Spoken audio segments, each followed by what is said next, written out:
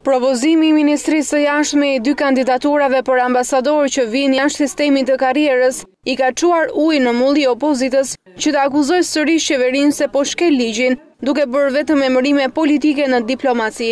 Nga pesëmbëdhjetë kandidatura të sjella në tetë muaj, tetë janë politike. Dhe pyetja është e thjeshtë, kolegët e zotit Melo, me një karrierë të gjatë, me një kontribut të vyer të çmuar, njëzet vite, pesëmbëdhjetë vite në Ministrinë e Jashtme, ku do shkojnë? Por për opozitën edhe më i rëndë është emërimi si i ngarkuar me punë në Vatikan i Ardian Ndrecës, i cili nuk u dekretua nga presidenti Bujar Nishani për të qenë ambasador i Shqipërisë atje. Për një tekë, për të bërë karshillik, ne ulim nivelin e marrëdhënieve diplomatike me Vatikanin. I kemi në nivel ambasadori, por vetëm për të çuar tekën.